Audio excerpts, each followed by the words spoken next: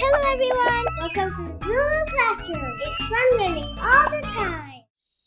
Hold still, little one. Hi, Katie. Are you there? We found a strange animal in the garden, and we're not sure what it is. Hi, Leo. I've received the photo, and that sure is an unusual animal. Can you find more information about it? Leave it to me. Great. I'm coming up.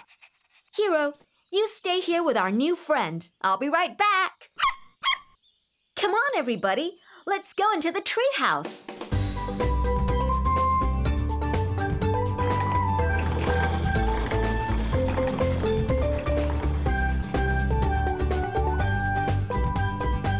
Hi, Katie. So, did you find out what animal it is? Hi, Leo. The animal you found is a baby Malayan tapir, also known as an Asian tapir. A Malayan tapir? There are five different types of tapirs, but Malayan tapirs are the only tapirs found in Asia. Why does the baby tapir look so different from its mother? That's because the fur coat of the baby tapir acts as camouflage and helps it blend in with the forest floor. It makes it hard for other animals to hunt them. When the Malayan tapir gets older, its coat starts to fade and it will look just like its parents. I see. What about the food they eat? Malayan tapirs feed on leaves, fruits, and plants. They use their long snouts as hands, which they use to pick their food. That sounds handy. Malayan tapirs live in rainforests in different countries in Southeast Asia. The one you found comes from this place. It must be lost without its mother. And its camouflage doesn't work very well in our garden. We should bring it back home. Come and join us. Great idea, Leo. I'm sure the baby tapir would love that. See you downstairs.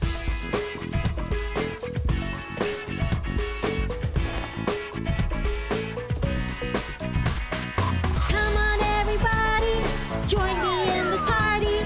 One, two, here we go for lots of fun